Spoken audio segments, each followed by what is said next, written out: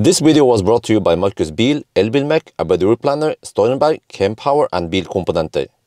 Yo, what's up? We are now in the garage and behind me here you see Volkswagen E-Up. Did you know that E-Up was the first EV to get the CCS plug? Huh? So yeah, we're gonna do a little range slash degradation test. You know, this has supposedly 16 kilowatt hour uh, net capacity initially, but how much does it have now? Well, we'll see. You this is like the, the e-Golf's little brother. It came before e-Golf came out. So yeah, just quick, you know, let me just show you here. You know, the garage is supposed to have two, you can have two cars in the garage. Garage looks big, right? Well, it's just that this car is so small. so yeah, uh, the charge port is on the right side, which is the wrong side, should have been left side with the right side. I now put the heat in here. I'm gonna preheat the car with some land power. And man, look at this, look at this. Look at this interior.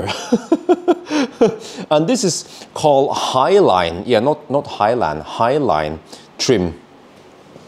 It has this Garmin uh, where you can have some battery status. Yeah, actually, this is where I first heard battery status. It was as this at this uh, event in uh, Germany, uh, Frankfurt. Yeah, IAA. but okay, so this is it. I'm not gonna tell you. To, I mean, not gonna show you guys too much, but uh, you probably seen it before.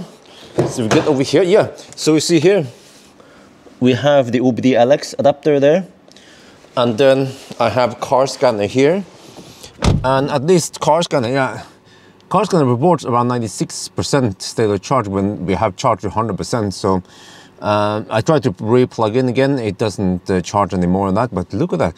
Look at the voltage. Nice high voltage, unlike the e-Golf, which is around 300, 350 volt only. Uh, battery uh, might not be in the best temperature, but I think that's good enough. And then here we see uh, the volt, uh, voltage on the cells. Yeah, so anyway, let me see. If I fire, oh yeah, okay, so let me show you that. It has a traditional key. Yeah, this is what they used 20 years ago on Volkswagen. We just do this. I haven't figured out how to, okay, I haven't figured out how to um, change the language yet. But also, wait, wait, where's the odometer? Ah, okay.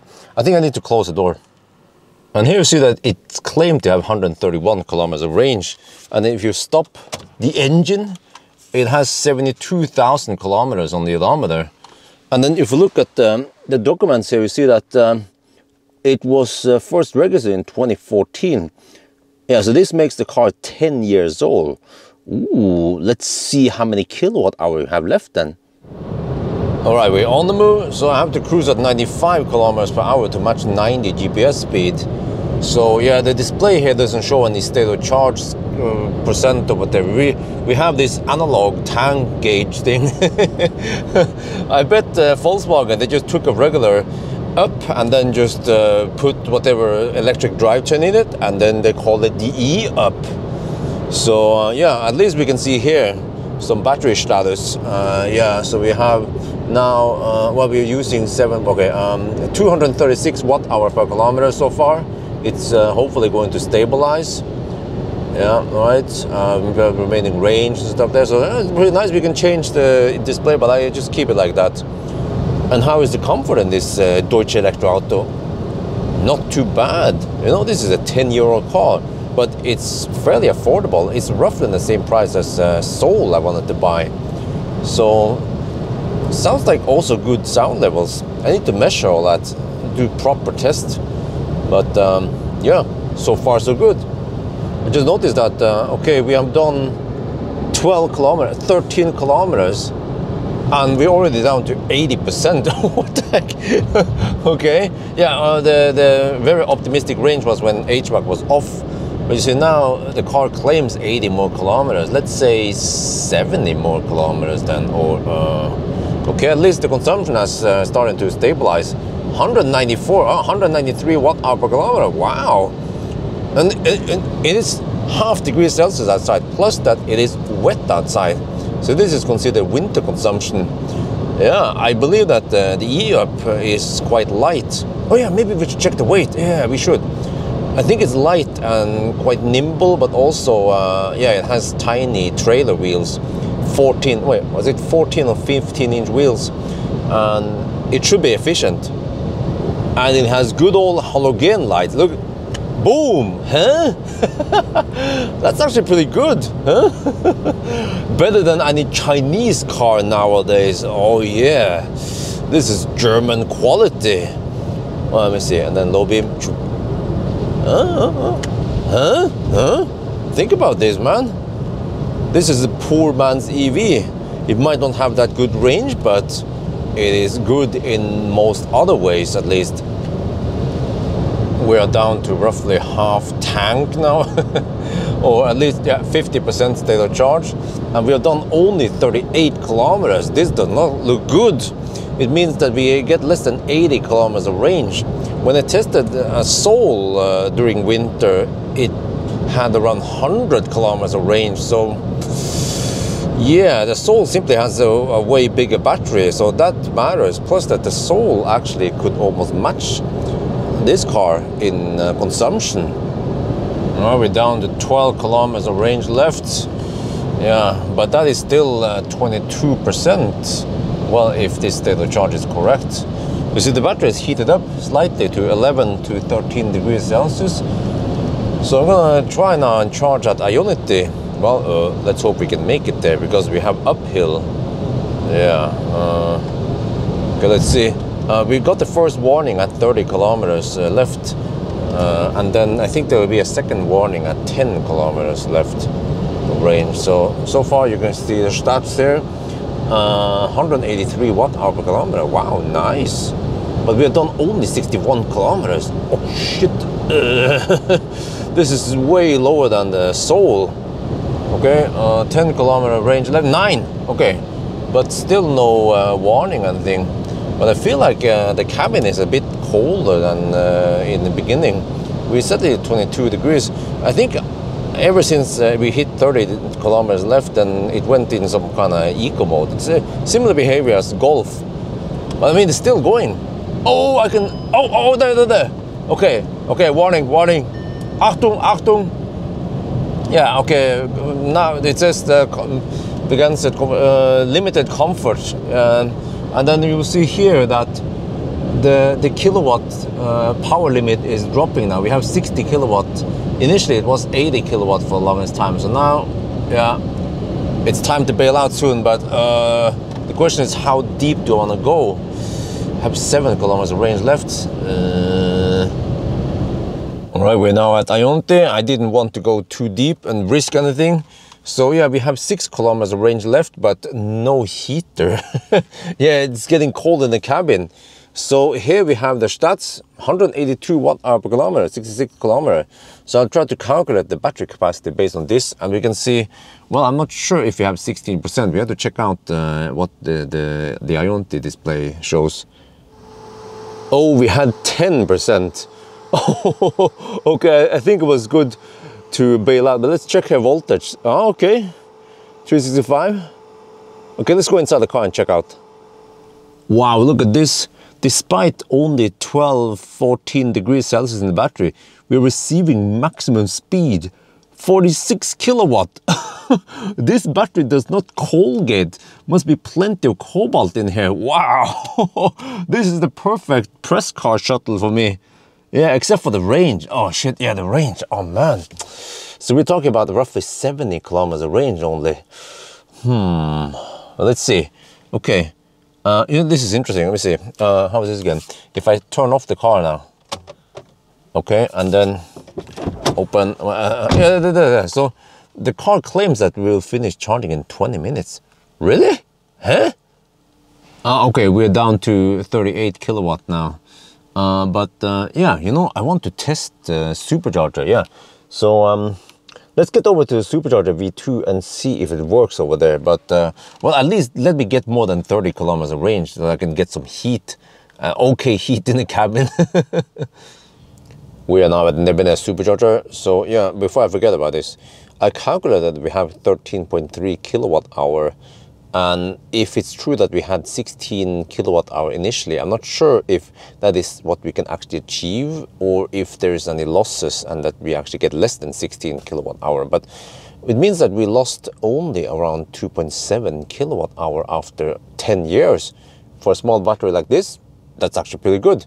But you see, 13.3 kilowatt hour is a lot less than Soul's uh, battery that can get uh, at least 17, 18 kilowatt hour. I wonder if there's even a 20 kilowatt hour Sol out there. I'm talking about net, capacity, by the way. Okay, let's try supercharger then. Okay, let's see. Let's try to do the handshake.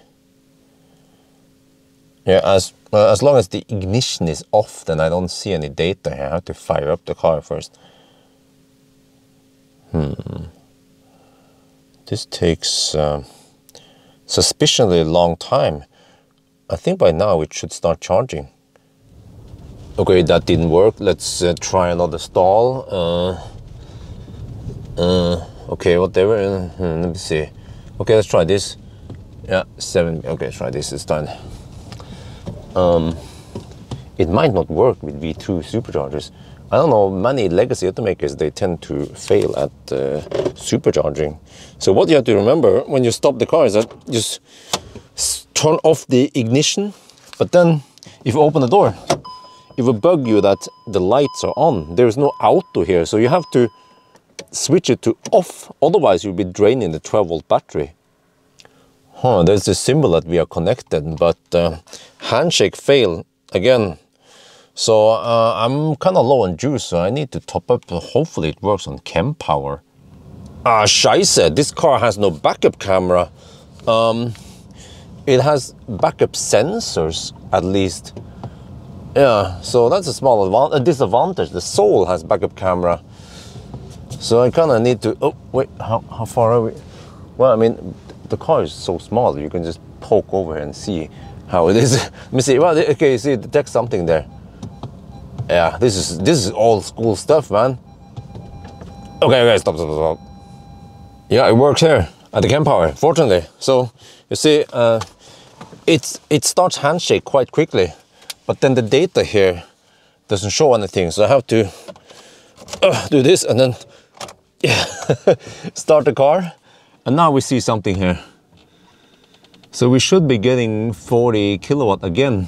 By the way, the E-Up has no thermal management, no active cooling. So eventually it will rapid gate. uh, wait, huh? Why are we not getting... I think, okay, it ramps up just kind of slow. But let me check something here. It feels, yeah, we are getting heat. Wait, I'm gonna check. This could be leftover heat in the in the coolant, but uh, we should get heat while we are DC charging, but I noticed that we did not get any heat when we were AC charging. Yeah, you see now... now oh, man. On this stupid navigation keeps bugging me about low juice and if I need to navigate to something. No, no, stop bugging me about it. I, I haven't figured out how to turn off that shit. Uh, this is quite uh, basic stuff, man. Really primitive uh, user interface, and yeah. Uh, okay. Anyway, yeah. You see, 43 kilowatt. Oh, it jumps a little bit up and down, but we are getting juice now. Yep, I can confirm that uh, uh, while we are DC fast charging, we do get heat in the cabin. And uh, yeah, see, even at 70, well, I'm not sure how many percent, uh, this seems to be incorrect, but we're still getting around 40 kilowatt. Let's check outside. Okay. Oh, it started snowing now. Oh, okay. Wow, the, the lights look a bit yellowish. Well, that's the park lights. So we can check here. Okay, 76%. Well, okay, this is what uh, the charger delivers. That is some nice charging speed. Okay, let's click here. You see? I wonder when it will throttle.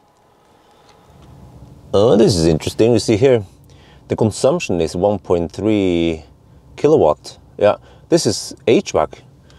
And uh, if we look here, oh shit, this a bit too bright.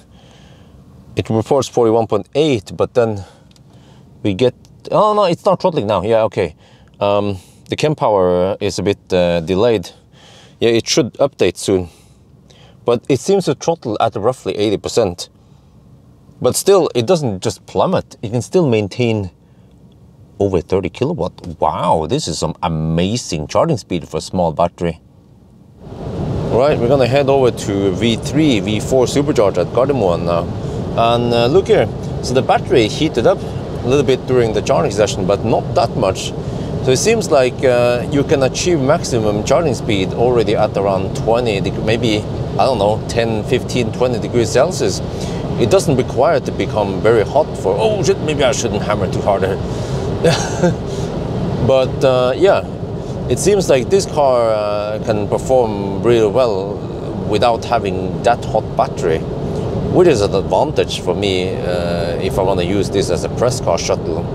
The only problem is the somewhat short range compared to Soul. So, but then Soul is uh, plagued with uh, lots of battery issues, bad battery design, bad chemistry, and yeah, lots and lots of batteries are failing on the Souls I see for sale. All right, let's check the weight of the car. Front axle. 720 kilograms only. The whole car. 1300. What? Really? Huh? Is this heavier than the next generation with bigger battery? Wow. Okay, we're now at Gardermoen supercharger. See, we have V4 supercharger over there. Man, this shit looks scary. Um, I have a tiny car with tiny wheels. so is this gonna work? Uh, I don't think so. Let's see. Normally, if it works, it yeah. By now, if it doesn't work, then most likely it doesn't work. So yeah, it seems like V2, uh, V3 supercharger will not work on uh, this tiny E-up. Wow, it is. Wow, you see, they put the wheels on each corner. That's probably why it, gets so good comfort. Okay, whatever. Let's just go home. I have 40 kilometers of range, and that is enough. So let's see. Oh, mm, my only concern is all this uh, snow. Uh, I don't know what you call them. Snow piles. Oh, I'm gonna go a little bit uh, off-roading here. Oh man, these snow lumps they are so deep. Yeah, I mean you have a fat e-tron, you can raise the suspension, no problem. But this little bugger here, oh, kind of struggles a bit. Oh, oh. Okay, okay. Uh, let's get out of here, man. Oh. All right, we're back in the garage, and uh, yeah, I just uh, noticed something. We have 12 volt outlet there, um, but where's the USB? Uh, that's just a 2.5 millimeter uh, audio jack input. Wait, does this car not have USB ports? What the heck? We have a CD player here. okay, so um, apparently this car was built before USB port was uh, invented. Okay, whatever. well, all right, so uh, let's get out of here. Um, yeah, so what do I say about the car? Um, it's small, it's nimble, it's actually comfortable. It charges fast, but um, the main problem here seems to be that it lacks backup camera and the battery is somewhat small. So um, yeah, I still have to test Soul and see how good that one is because these two cars, they actually cost roughly the same. But as I mentioned, Soul might have troublesome battery. Here, I haven't heard of any E-Up batteries failing left and right. So yeah, but um, I should test the, the E up here, this one, this car, uh, to uh, Geilo and at least do um, 500 kilometer challenge before I return it. But uh, yeah, this car belongs to Marcus Bil and if you want to buy it, it is for sale.